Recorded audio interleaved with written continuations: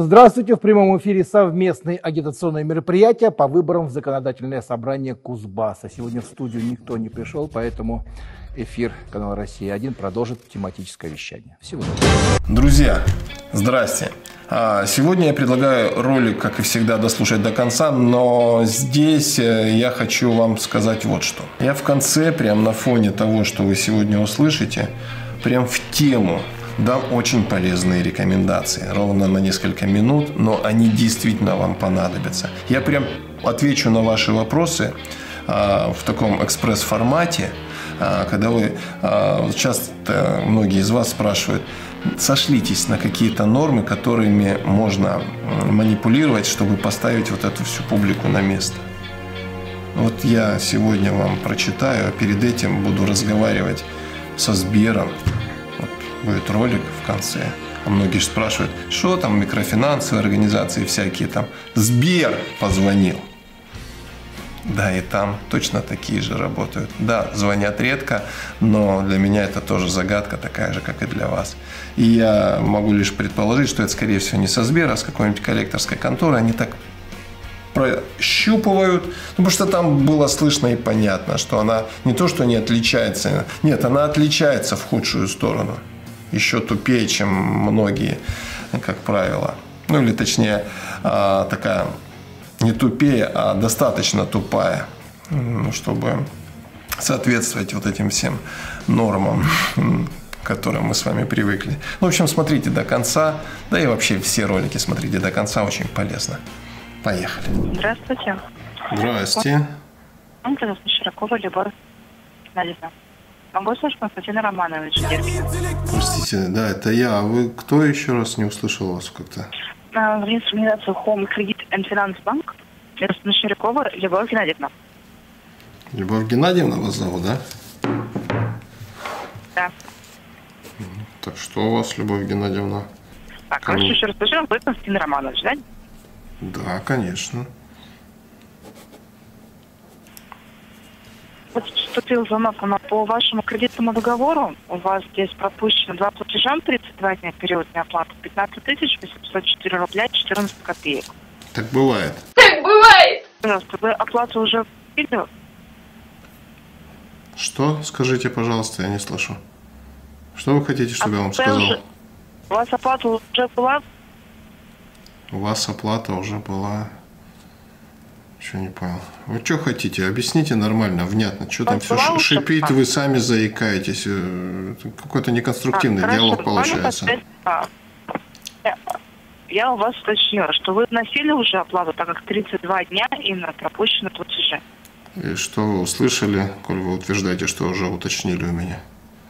Я у вас спросила, вы оплату вносили? А, так это по-другому. Спросила, а то говорите, уточнила. Э, Вы меня спросили. Да, я это знаю. Вы почему-то отчитываться любите, да, наверное, за каждое свое действие. Вот вы сейчас мне э, очевидные вещи сообщаете, что вы меня уточнили. Я и без вас знаю, что вы у меня спросили. Владимир Романович, текущему, у вас сейчас за 32 дня период неоплаты, у вас каждый А. день начинает штраф. Да, Замечательно. Именно платежи. Что-то говорю, неконструктивно. Во-первых, шипит все, а во-вторых, э, вы, ваша связь заикается. Я вас через слово понимаю. Поэтому вынужден вот так себя вести. Ну, со связью банк все в порядке, нас каждый день проверяют. Ну, видимо, проверяльщики ваши какие-то некомпетентные, потому что я вам обратную связь докладываю. То есть связь отвратительная. Что они там у вас проверяют? Они бы хоть сравнивали с чем-то. А то они, может, проверяют, но есть, есть, типа обратная связь, типа коннектится, а качество связи они проверяют или только наличие этой связи? Э, Бе, вот сейчас я услышал бе. Ну это что вот значит? Класс! Откроем тридцатую страницу и переведем каждое слово на бараний. Он. Они. Мы. Бе. А вы же что-то сказали, вы же какое-то слово произнесли, а я услышал бе. Только и все. Просто по текущему состоянию вас как скоро удастся восстановиться в графике и закрыть текущую задолженность? Зачем вы интересуетесь? Вы- Вы интересовались в первую очередь, есть ли у меня желание э, где-то что-то восстанавливаться, а то вы думаете, Я не знаю, вы что-то пропустили, вам кто-то другой, видимо, каких-то обещаний надавал, и вы уже на меня их проецируете. Надо не так э, диалог вести. Согласен ли я, готов я соответствовать вашим ожиданиям. После того, как вы услышите ответы, делать э, соответствующие выводы и формировать следующие вопросы. Ну, вперед забегайте чересчур быстро и далеко. Извините, но кредитное обязательство берется а за что вы сейчас извинились? Вот мне любопытно, за что вы сейчас извинились ну, передо мной? То, что вы говорите, если у вас желание, либо нет оплачено. Но дело в том, что а, чувствуете, желание, над вами давлеет чувство вины неосознанное? Не извиняйтесь так часто, привыкните и будете жертвой в этой жизни. Не отходим от темы, пожалуйста, ваших обязательств. Мы даже не подходили сюда, чтобы от них отходить. На отстраненные темы давайте, пожалуйста, не будем разговаривать. Меня просите, просите. Вот здесь у вас позиция какая неуверенная и шаткая. То вы извиняетесь, то вы умоляете, просите. Вы, у вас цель какая? Вот вы позвонили сюда. Унизиться? Константин Романович, ну, в таком случае, раз конструктивный диалог с вами не получается, почему это? от банка закрыть а вот банк. Вопрос, почему у вас не получается элементарная вещь, которая, в принципе, должен, подразумевает э, весь ваш род деятельности и способ существования? Почему у вас это не получается? А вы пытаетесь это ну, вот... Просто сжато, Константин Иванович, когда сжато и по делу, рекомендация от банка внести платеж ваш сегодня 15 806 рублей 14 копеек. Так вам и надо так, слушайте, это целое ноу-хау. А, всем службам взыскания надо разослать. Общаемся с клиентами сжато и по делу. Ну, сообщили, напомнили о долге, сообщили о возможных последствиях и выключились. И все. Следующий платеж. Постепенно перешли на автоинформаторов. И сам институт служб взыскания в формате живых людей себя постепенно уничтожит. Давайте уже не будем настолько философски, пожалуйста. По контактным данным, скажите, пожалуйста, у вас были какие-то вы где, тут фило... вы где тут философию, барышня, разглядели? Вы чего? Философия вот в отношении вас э, в формате диалога неуместна. Во-первых, вы не вывезете, просто для вас это очень неподъемный груз философия, что вы по скрипту работаете, причем устаревшим очень давно. Ну, во-вторых, э, Каком? А что за случай? Что за случай? Вот это вообще не случай, это закономерность, события. Вот сейчас вот с вами происходит. Это не случай. Знаете, случай это когда вы что-то ожидаете, а тот хуяк, и, как говорится, радиомаяк, да. А у вас это не случай, это закономерность, вы к ней идете целенаправленно, это событие в вашей жизни, не, не прекращающееся случай. Ну, рекомендация от банка внести вам платеж уже да сегодня. слышал я это, слышал, слышал. Вот это ваши рекомендации. Знаете, чтобы раздавать людям рекомендации, нужно заслужить какое-то уважение, чтобы к вам прислушивались, к вашим рекомендациям. А ваши рекомендации ничего, кроме проблем ну, выполнения ваших рекомендаций, не приносят людям. У вас есть обязательства, которые вы на себя возложили. Ну, вам доказать осталось это только. А для этого нужно, сами знаете, куда отправиться. В личном кабинете Credit у вас есть вся информация. Можете обратиться, там указано. Не, меньше всего интересует ваш личный кабинет. Даже не знаю, как туда заходить и как это все выглядит. И да место, вы там уже ме... Что вы? Вы там оплачивали, заходите и делаете расчет досрочного погашения и контролируете. Да ладно вам. Да ладно. Что вы сочиняете на ходу? У вас есть личный кабинет. Со, со связью, со связью у вас э, беда со связью. Честное слово, вы так-то а, два слова связать не можете в, в этой жизни. А тут вам еще под, подкузмили а ваши проверяльщики, которые связь проверяют регулярно. Хорошо, вы, вы, им скажите, вы им скажите этим своим проверяльщикам, чтобы они вас пощадили, хоть действительно, а то и так у вас а, доля незавидная. Переходите в проверяльщики связи. Хорошо. Там вы будете на своем месте. Там, не, там, там разговаривать да, не надо, там никакой философии. Контакты проверили и все. Хорошо, спасибо вам, что уделили время. Хорошего вечера. Пожалуйста, пожалуйста, пожалуйста. Обращайтесь, если что-то по необходимости будет нужно Мне особое удовольствие доставляет о так их из себя выводить. Здравствуйте. Денис Владимирович, верно? Ну и здравствуйте. Коллекторское агентство «Эверест», инспектор досудебного взыскания, Верстова Оксана Евгеньевна, информирую о записи разговора. Всегда на, фами... на фамилии, всегда в Эверест почему-то какая-то помеха. Всегда там искусственно, да, вы помеху ставите, когда фамилию произносите? Тверская. Да просто Тверская сказать, да и все без акцентов каких-то. Нормальная распространенная фамилия. Если даже. вы не слышите. Ну, я не слышал. Если не слышал, ну просто не повторили слышал. спокойно, без эмоций. Денис Владимирович, давайте Улица вернемся к вам. Есть в Москве. Тверская, недалеко от Красной Вы... площади. Денис Владимирович? Да, это я. А, звонок касательно вашей задолженности по микрокредитной компании «Веритас Езаем». Долг 34 тысячи 320 рублей на 25 сентября. 71 день текущей просрочки. Требование кредитора закрыть проблемный договор в течение суток не позднее 26 сентября, то есть завтра до 8 вечера по московскому времени включительно. Оплата от вас будет сегодня или завтра?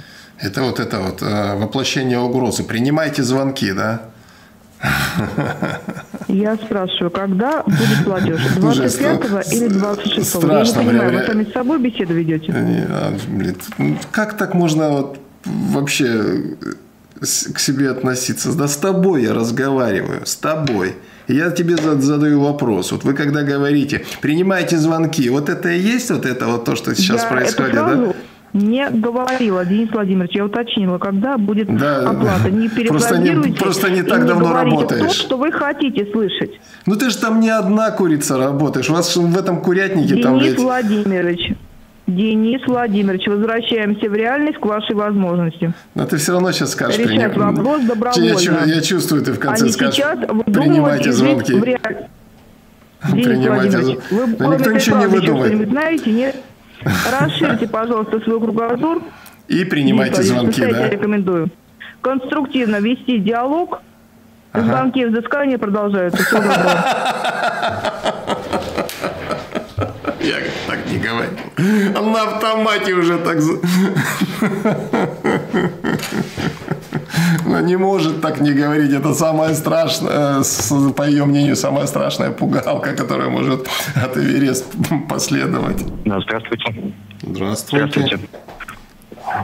Меня зовут Михайлов Алексей Владимирович. Я ведущий специалист отдела клиентского взыскания АО «Альфа-банк». А, скажите, пожалуйста, она может быть сейчас подойти к телефону? Вот, Алексей Васильевич, э, ну ты никакой не специалист, тем более не ведущий. Ты, ты, да какая разница? Ты же вот сам себя назвал, несуществующие должность себе присвоил. Ты не специалист, не ведущий, Скажите, ты просто оператор. Зачем ты сходу врать начинаешь, а потом надеешься на то, что кто-то с тобой будет конструктивно разговаривать? Всем известно, что... Ответьте Ирина сейчас может все-таки подойти что к ты простой оператор. Вы так и не ответили на мой вопрос. Я понимаю, что я не ответил, не нужно комментировать то, Если что я делаю. Если вы не перестанете вести монолог, вы выключишься. Я прошу прощения, что вас перебиваю. Если вы не да, Привыкай. Вы Твоя жизнь – это все время попытка извиниться. Поэтому вот эта жизнь твоя привела тебя понял. вот туда, куда ты сейчас находишься. Вопрос, я не ответил, да. Позднее. Констати... Констатировать ситуацию ты научился. Ведущий иметь специалист. Не специалист, уж тем более не ведущий, а простой оператор колл-центра. Неудачник, это если по жизни. Вот по своей и по твоей судить. Я по своей говорю, да, и э, параллели провожу с твоей. Неудачник, неумеха, тетеха, ну и, соответственно, несчастное существо. Да, так надо, так, друзья, надо, надо, так. Да, это жестко. Они не на работе, это работой назвать нельзя. Вот кто пишет, они на работе, зачем с ними так? Или там даже ругают меня. Я понимаю и не злюсь на таких. И, конечно же, никогда не буду в ответ что-то писать. Это ваше право. Спасибо за мнение, как говорится. Но они не на работе. Это вам мое мнение. Это за работу я не могу считать. Как я говорю, это повинность добровольная. Ну, я понял, нифига вот там натуре там индейцев, блин, набрал. Ну, так, так-то, по сути, там, вам, тебе-то ничего-то и не было, да, это, это его же проблема, что он там упал у него на голову, там. Алло. Да. Я говорю, так-то тебе-то без разницы, по сути, правильно, там, ну, упало, упало на голову, там. Ну, потом бы, конечно, там писанин бумажек, мне, мне геморроя там было бы, да. Хата конечно. вся в крови была бы, там, Разорванные головы, там, кусок, где мозги его сейчас собирать, склеивать, там, на скотч, блядь. Да. Никому это не нужно. Ну да. Ты там что, какаешь, что ли, блядь? Пока я сру, я зарабатываю чистыми 2 миллиона 420 тысяч рублей. Нет уже. Я так и понял, что у тебя голос такой злый, удовлетворенный злый там. Ты дома уже, что ли? Угу. И что вы решили, как вы будете закрывать в случае вот этой, ну, батареи и все это остальное там? Если этот забухал. Сам, сам Саша вы ставишь там? Да, ДСП поставим, да и все. Кого? ДСП или арголит. Ну, я понял. Саша, вот сам ставишь, что ли? Не, Леха. М, Ну, понял.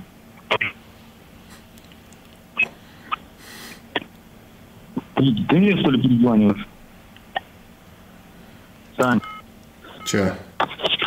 Собеседник поставил звонок на удержание. Разговор будет продолжен.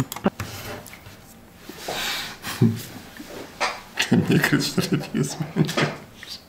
В крови, что там вообще за кипиш у них? Мозги, кровь, блядь, баш- башка разбита. Что-то тут мы сейчас были свидетелем чего-то необычного. Услышали. Оставим это, как говорится, для памяти на нашем канале. Мало ли, вдруг понадобится доказательство к чему-нибудь нехорошему. 17.43 по московскому времени. Запись разговора 25.09.2023. Мы не при делах. Мы вот э, по ре- переадресации. Здравствуйте. Алло, кто это? Это компания Ситиус вас беспокоит. Николай Павлович Афанасенко меня зовут. Запись нашего с вами разговора ведется. А вы... Э, Вич, верно? Верно. Извините, не расслышал вас. Верно, говорю я. Замечательно, Владимир Сергеевич. Я еще раз представлюсь. Николай Павлович Афанасенко меня зовут. Компания Ситиус. Запись разговора с вами ведется. Да похер. Владимир Сергеевич, звоню вам по поводу долга вашего незакрытого. Давайте без грубостей. 27 тысяч 553 Тебя- рубля. от 21 тебя много копейка сумма вашего долга. Молодой человек, но если вы будете просто хамить, То ты мне выключишься, линию да? придется освободить. Естественно, Мне блядь. придется с вами попрощаться. Зачем говорить с человеком, который не может себя держать в руках? Естественно. Только другой вопрос, э, то, что вам же дальше принимать звонки в свою сторону. Ну, Пиздец, как а страшно, постоянное Сколько у общение? там терпил там собралось, я слышу, много. Звоните. Владимир вообще Сергеевич, вообще вопросов не успокойтесь. Я Сейчас, понимаете, в данном случае взаимодействие терпите именно вы, а не я. Я вас вот впервые слышу, возможно. Слушай, блядь, я вот на этот счет, знаешь, как говорю, а вот вы себе придумали, дурачки, что это нам проблематично, да, принимать таких, как вы, вот в качестве звонков. Это ваша проблема. Вам придется звонить, а, надеяться, что вас не пошлют нахер, блядь. Каждый раз все больше и чаще, блядь, разочаровываться в своих ожиданиях. Похер, звоните. Чем чаще, тем лучше, блядь, терпилы, блядь. Кто вас вообще, блядь, боится Владимир или, блядь, и будете воспринимает, блядь? да? Конечно, буду, блядь. Ну, понимаете, э, вот в данном случае вы меня ничем не удивили. И А, я Чё понимаю прекрасно, привычный, что вы блядь? надеетесь... Привычный, блядь. А что тут, блядь? поставлю. ты, Конечно, давай. Ума набирайся, долбоёб, блядь. Мне, говорит, не удивите даже. Я, говорит, до такой степени уже удивленный, блядь, в этой жизни. Здравствуйте, Сбербанк, специалист Исламова Любовь Александровна. Диалог наш с вами записывается. Могу я Меня, то бишь, слушайте на здоровье, Любовь Александровна. Это вы, да? Как я Да, да, понимаю, да. все верно дозвонились. Мгм. Да. Мы позвонили вам по вашей кредитной карте. 2200 неоплата у вас на сегодняшний день, плюс завтра новый платеж еще 200. То есть нужно вам вносить а, ориентировочно 4300. Сегодня-завтра внесете оплату? Не, вы знаете, Любовь Александровна, я тут решение принял жизнеутверждающее и, может быть, самое главное за последнее время в своей жизни. Обратился в компанию, получил необходимые консультации, все проверил, в общем, как вы подозреваете, наверняка допускаете, что у меня не только в Сбербанке ответственность определенного рода существует неприятное. А, как и у большинства а, моих соотечественников, еще во многих-многих банках и микрофинансовых организаций. И, в общем-то, я почему-то думал, что это мне э, выбирать, а на самом деле существует обязанность в законе прописанная. Так что уж извольте. Александр Андреевич, Я не, А я не договорил. решили? Я не договорил же, да? А вы мне ну я перебивать поняла суть. Александр Андреевич. Что вы поняли? Александр Андреевич, я Что в вы сути, поняли? я поняла, что что вы подали на банкротство. Почему набрали-то кредитов столько, что не можете платить? Для чего брали тогда? Ну, вот это вот не вашего ума дело, барышня, честное слово. Ну просто это же все проверяется, да? Да и проверяйте, всегда ради должны- бога. Вам, Проверяйте, вам ради 27 бога. лет, правильно? Совершенно Вам верно. двадцать- А вам сколько? Ну, вы вам еще что вам, даже- и того, вам и того меньше. А вы тут меня вздумали жизни учить, я правильно понял? Александр Андреевич, уходите от темы, уходим от темы. Я В смысле, про возраст вопрос? Вы знаете, что даже после процедуры банкротства банк может возобновить взыскание? И долги не всегда списываются. Банкротом можно, могут признать, статус дадут, а долги не спишут. У вас трудоспособный возраст, вы можете работать, зарабатываете, оплачиваете то, что Ну, потратили. ты по пунктам, э, Любовь Александровна, что значит после присвоения статуса банкрота банк опять может начать взыскивать? Это как? Если все долги Но списаны. Вот, будете да. работать, но их могут не списать. Почему вы уверены-то в этом? Нет, э, я правильно вас понял? Первое ваше умозаключение, с позволения сказать, э, звучало именно так, что после того, как меня признают банкротом, я правильно понял, банк все равно, Да, банка, долги не- а у банка остается банк- право, э, остается право взыскивать с банкрота. Да? Да, потому что есть банкротство без а, списания долгов. То есть не всегда долги списывают. Вы почитайте практику судебную. А в моем У случае, трудоспособный возраст. и что это меняет? Ну, вы можете работать, вы можете погашать а, долги. Суд ведь это все рассматривает.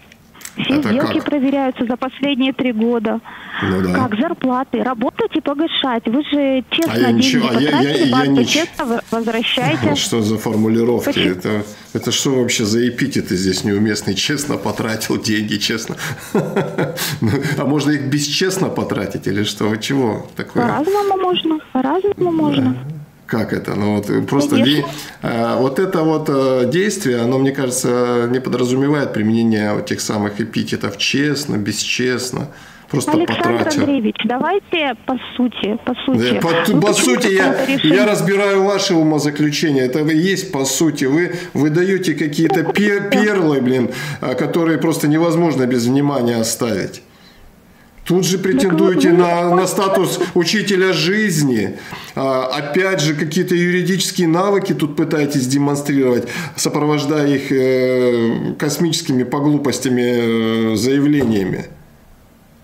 То есть вы намерены банку не платить, Александр Андреевич? Я правильно вашу позицию Неправильно понимаю? еще и формируете предложение в вопросительной интонации. Я бы на вашем месте, не дай бог мне там оказаться, сказал, вы не намерены платить банку. А вы сказали, вы намерены не платить. Усложнили. Превратили в предложение не, не в литературное. Я поняла вашу А ситуацию. вам банк доверил поняла. вести переговоры. А вы еще пытаетесь жизни людей учить, а? А сами в этой жизни Александр разобрались? Александрович, Александрович. Александр Андреевич, не о том говорим. По оплате мы не договариваемся. Я вообще. правильно понимаю? И Я вообще с вами не собираюсь ничего обсуждать. Я вам Я- выдал, поняла. выдал самодостаточную информацию. Человек обязан при сумме обязательств более 500 тысяч заявить о банкротстве, если он не может их обслуживать. И ваше любопытство здесь никакой роли не играет. Почитайте судебную практику для интереса. Какую еще Почитайте. Всего судебную практику? Какую еще судебную практику? Надо закон 127 читать и анализировать, что там написано. Кого признают банкротами и что проверяют? Проанализируйте. Вы понимаете, что существует обязанность Понимаем, гражданина? понимаю. Независимо от того, какой результат. Право. Александр Андреевич, не обязанность, а право. То есть есть право подать на банкротство. Вы можете им 213.4. воспользоваться. Внимание. Решать. 127 федеральный закон, статья 12, э, 213.4. Заявление гражданина о признании его банкротом. Гражданин обязан обратиться в арбитражный суд с заявлением о признании его банкротом в случае, если удовлетворение требований одного кредитора или нескольких кредиторов приводят к невозможности исполнения гражданином денежных обязательств или обязанности по уплате обязательных платежей в полном объеме перед другими кредиторами. И размер таких обязательств и обязанностей в совокупности составляет не менее чем 500 тысяч рублей не позднее 30 рабочих дней со дня, когда он узнал или должен был узнать об этом. Так вот, не право, а обязанность а не так, как вы сказали, не, не обязанность. Это не со мной вы пытались спорить, а с законом и оказались в проигрыше. И жизни учить вы будете Всего своих детей, когда их нарожаете. Но не вздумайте плодиться, пока вы на этой работе числитесь. Пока у вас в мозгах... Я знаю. Но вам это нужно услышать, и вы это услышали. И вот, друзья, когда вам начинают вот это все рассказывать, я всегда просто кричу, заклинаю, пытаюсь убедить вас всех. Анализируйте. И я не призываю досконально изучать 127 федеральный закон, хотя просто заглянуть туда не помешает. Анализируйте, знаете что? Почему они это говорят? Какая цель? Что им нужно? Вот что важно. Прокрутить в голове, произвести тот самый анализ и сделать выводы. Ну а если хотите, 127 федеральный закон – это то, что важно прочитать. Конечно же, 213 статья в этом законе, точка 4. Заявление гражданина о признании его банкротом. Это вот то, что я сейчас зачитал. А дальше. 213.6. Особенности рассмотрения обоснованности заявления о признании гражданина банкротом. Тоже почитайте. Дальше из 127 федерального закона это статья 61.3 а, как раз-таки вы можете парировать их выпады в отношении того, что заплатите, заплатите. А, нельзя платить, я сейчас своими словами, если вы приняли решение кому-то одному, а другому не платить. И здесь можно список долгий и длинный. Меня часто спрашивают, на какие статьи опираться. А дальше я могу вам рассказать про ГПК РФ, Гражданско-процессуальный кодекс. Там статья 3 права пострадавшей стороны обратиться в суд, когда мы им говорим, идите на три буквы, посередине буква У. Да, многие из них, особенно, да все и мальчики, и девочки думают совсем о другом месте. А надо о работе думать. А если о работе думать, то, конечно же, будете думать про суд, а не про то, что вы думаете обычно. Ну, Вообще классика – это ГК РФ, 808 статья. Вот классика в общении э, с э, онлайн-займами – это форма договора, что договор между юрлицом и физлицом должен быть составлен в письменной форме.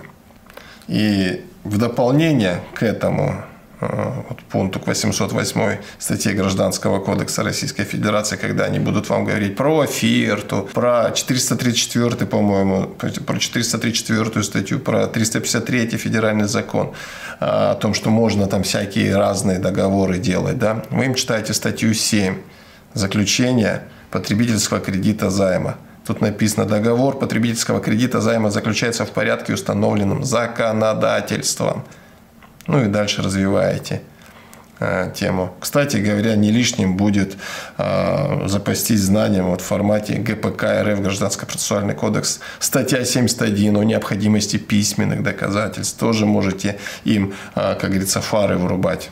Ну, а дальше уже 63-й федеральный закон а, по, про электронную подпись, когда они вам прицепом начинают, так вот вы им статью 5 прочитайте или сами почитайте, чтобы потом понимать виды электронных подписей.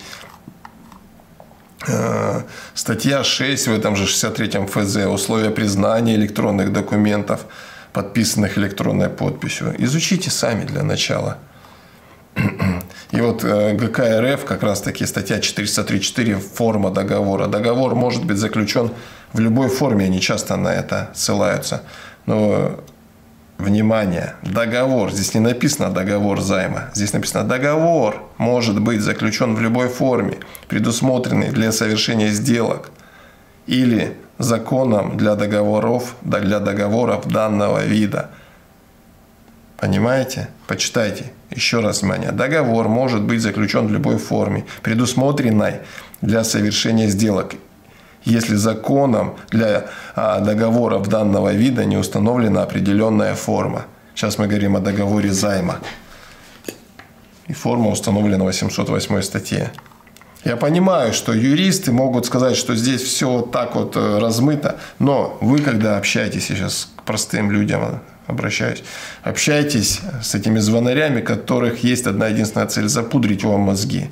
Так вот, не поддавайтесь так легко. Демонстрируйте свою экспертность, они сдуваются очень быстро, а вам настроение, как говорится, только повысится от этого. Ну, на сегодня как бы так все. Вот такая рекомендация. Рекомендацион, если хотите. Друзья, не позволяйте себя унижать, обманывать и обирать. Но в то же время, перед тем, как взять очередной кредит или займ, задумайтесь, а все ли так плохо? На самом ли деле вы не сможете прожить без этого? И, внимание, особое э, отношение сейчас, вот, особый посыл, если хотите, для тех, кто берет эти займы, чтобы оплатить другой займ. Проснитесь, очнитесь. Оставьте просто заявку сейчас на бесплатную консультацию. Подождите там денек, а то и сразу вам позвонят. И задайте этот вопрос специалисту компании «Алям». Правильно ли вы делаете перекредитовывать, чтобы оплатить другие займы? Знаете, что я вам скажу? Да вы сами понимаете, без всяких специалистов, что вы в заднице, в кредитной истерике, и это вам не поможет. Нет, не поможет. Клад вы не найдете. Богатый родственник не умрет в ближайшее время, потому что, скорее всего, у вас нет таковых. И наследство вам, естественно, никакое не достанется. Ну, а в лотерею, ну, только если в лотерею вы выиграете. Ладно, делайте выводы. До завтра.